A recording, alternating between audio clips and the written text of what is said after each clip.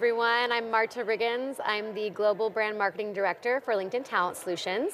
I lead a team that thinks about how to uplift and inspire people who think about talent in their organizations. And one of the things that we do is we program Talent Connect. And with me right now is Leah Busque, founder of TaskRabbit. Thank you so much for joining us. Thanks for having me. I have to tell you, and I think I told you this before, that I am a huge TaskRabbit user, and just the fact that being a working mom, it has saved my life. So thank you so much. I'm so glad to hear that. That yeah. makes me so happy. Yeah, so I've been kicking off these interviews with an icebreaker question. Okay. Because that's, I just think it's important to get to know each other. So what were your career aspirations as a kid? What did you want to be when you grew up? I either wanted to be a ballerina or an astronaut and I could never decide. So I ended up at a liberal arts women's college studying math, computer science, and dance. You know where they all come together yeah, as absolutely. well. As well, I wanted to be a ballerina as well, but in, I'm a short girl, so was it wasn't in the cards. I me. understand. Yeah. um, what inspired you to create TaskRabbit? How did it get started? Yeah, so um, my background is engineering, and I was working at IBM at the time. But uh, my husband and I were sitting at home one night. This is February of 2008. It was cold and snowing outside. We were living in Boston at the time, and we realized we were out of dog food. And we thought there's got to be a way to get this dog food. The iPhone had just come out uh, four months earlier. There was no app store, but I had one of the very first iPhones, and I thought I should be able to use this device to connect with someone. Maybe there's someone at the store at this very second I should be able to hire them.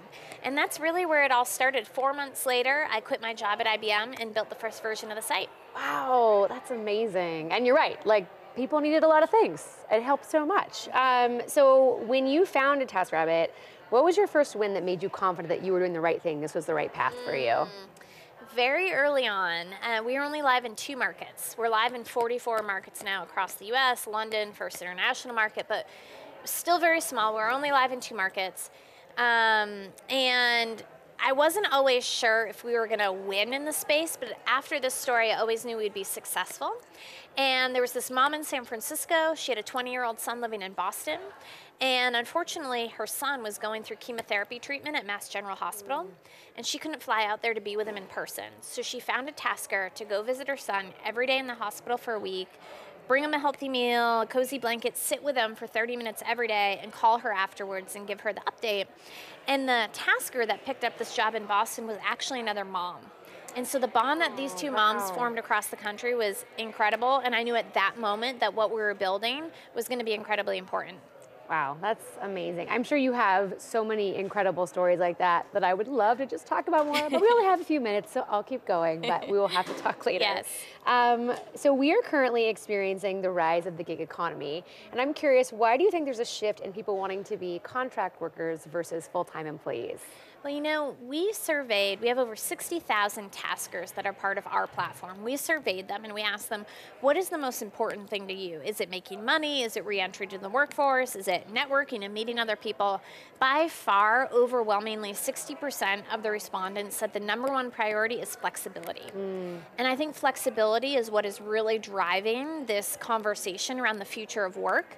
I don't necessarily think that that means that uh, we should force employees to choose between being W-2 or 1099, but finding ways to incorporate flexibility into a modern workforce, I think is going to be really important. Yeah, definitely a competitive advantage for a company. Mm -hmm. Absolutely. Um, what is your favorite interview question to ask candidates? Oh, um, that I'm hiring? Yeah when you're hiring, what's your favorite? I, think everyone has a go-to question. Yeah. I'm wondering what yours What is. drives you? Ooh, that's yeah. a good question. And just let it settle. Because I think that a lot of times when you're asked that question, you have this instinct to respond quickly and you're like, oh, what drives me? Like, impact or making money or whatever it is. But if you really sit with that question for like a good 60 seconds and think about it, um, you can learn a lot about someone. So is part of it also how someone reacts? Absolutely, yeah. And you know, at a small startup like TaskRabbit, we're always looking for people that have a really entrepreneurial mindset, that are able to think on their feet, that are self-motivated, self-determined. And so all of those factors come into play. That's a good one. I'm going to build that into my repertoire. Yeah. Thank you. Um, lastly, how can companies attract top talent in the gig economy? Um, so I believe, going back to this point around flexibility, that creating roles and opportunities that enable for a flexible workforce is more is really important. It's the number one criteria when women are searching for jobs is how flexible the job can be. It's the number three criteria for millennials. So there's a whole new generation coming up into our workforce that are also looking for flexibility.